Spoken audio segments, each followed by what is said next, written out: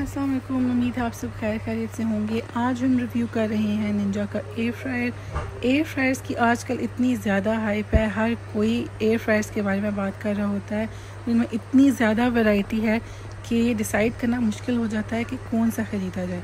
तो अपनी रिसर्च ज़रूर करें अगर आप एयर फ्रायर ख़रीदना चाहते हैं तो मेक श्योर कि आप जो ख़रीद रहे हैं वो आपकी फैमिली के साइज़ को सूट करता है। आ, ये जो है, ये डुअल जोन का निंजा का एयर फ्रायर है। इसमें आपको दो फ़ंक्शंस मिलते हैं सिंक का और मैच का। ये जो पैनल मैं आपको दिखा रही हूँ, यही इसका पैनल है जहाँ से इसकी सारी जो आप ऑप्शंस वगैरह सेलेक्ट करते हैं, सारी सेटिंग करते हैं, सारी इसी पैनल से होगी। तो एक दफ़ा ये प्लग इन हो गया तो आपने यहीं से ऑन करके ये आपको पावर ऑन का बटन नज़र आ रहा होगा। वहाँ से आपने इसकी सारी सेटिंग करनी होगी।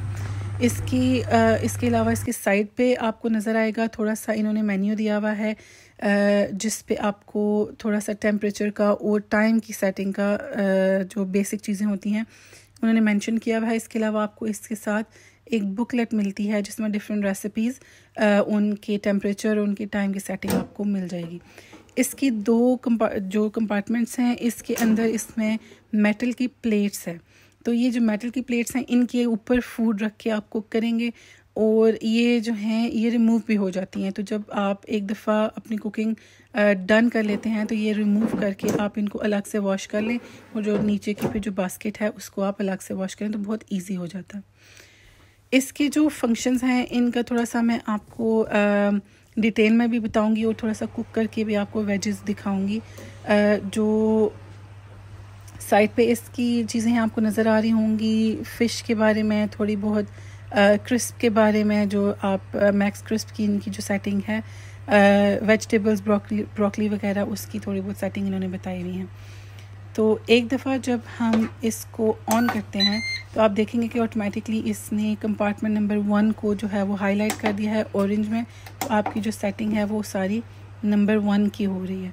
अगर आप दोनों साइडें यूज़ कर रहे हैं, दोनों कंपार्टमेंट्स यूज़ कर रहे हैं और दोनों साइड पे एक ही फ़ूड है तो आप मैच का ऑप्शन इस पॉइंट पे इस्तेमाल करें। तो आपकी दोनों साइडों की एक जैसी सेटिंग होगी, आपको अलग अलग इसको सेट नहीं करना पड़ेगा। अभी आपने देखा कि मैंने टेम्परेचर का जो ऑप्शन है, वो अप एंड डाउन कर रही हूँ। अभी मैं, मैंने बेग सेलेक्ट किया है, इसका टेम्परेचर अप एंड डाउन इसी तरह इसमें जो डिफरेंट ऑप्शंस हैं उनकी आप टाइम सेट कर सकते हैं। ये जो टाइम वाला ऑप्शन है, इसका अप एंड डाउन का जो एरो सा बना हुआ है, इसको यूज़ करके। नंबर वन वाली साइड पे अगर आप सिर्फ़ कुक कर रहे हैं तो नंबर टू को आपको छेड़ने की या ऑन करने की ज़रूरत नहीं है। तो आपने देखा कि जैसे ही मैंने मैच का बटन सेलेक्ट किया तो इसने जो भी सेटिंग मैं नंबर वन वाली साइड पे करी थी, वो ऑटोमेटिकली नंबर टू पे इसने टाइम की जो सेटिंग आपको नज़र आ रही होगी सेवनटीन मिनट्स उसके ऐड कर दिए हैं।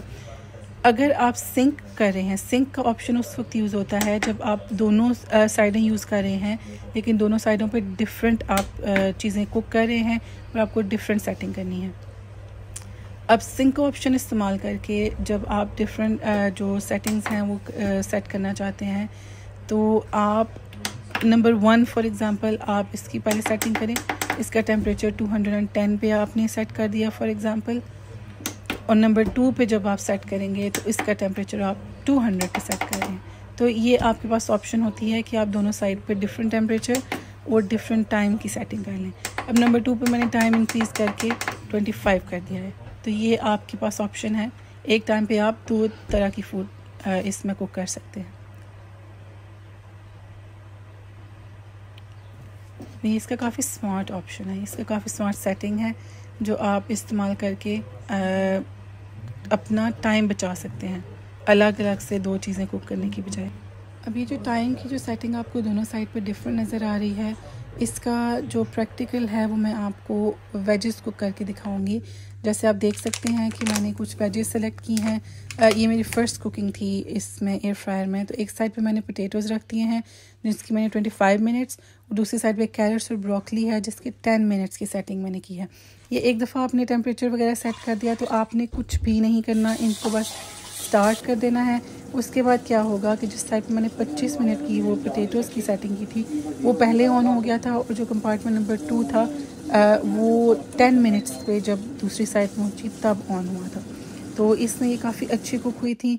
आ, ये आपको फाइनल रिजल्ट्स नज़र आएँगे इसमें। आ, अच्छे ब्राउन हो गए थे बहुत नाइसली कुक हुए थे। और जो ब्रोकली है वो यहाँ पे कुछ ब्लैक ब्लैक सी नज़र आ रही है, लेकिन ये बहुत परफेक्टली ब्राउन कुक हुई थी। तो उम्मीद है आपको ये वीडियो पसंद आई होगी। अगर आपके कोई भी क्वेश्चन हैं, कोई फीडबैक है तो प्लीज़ कॉमेंट करिएगा वीडियो को लाइक और शेयर ज़रूर कीजिएगा। थैंक यू अल्लाह हाफिज़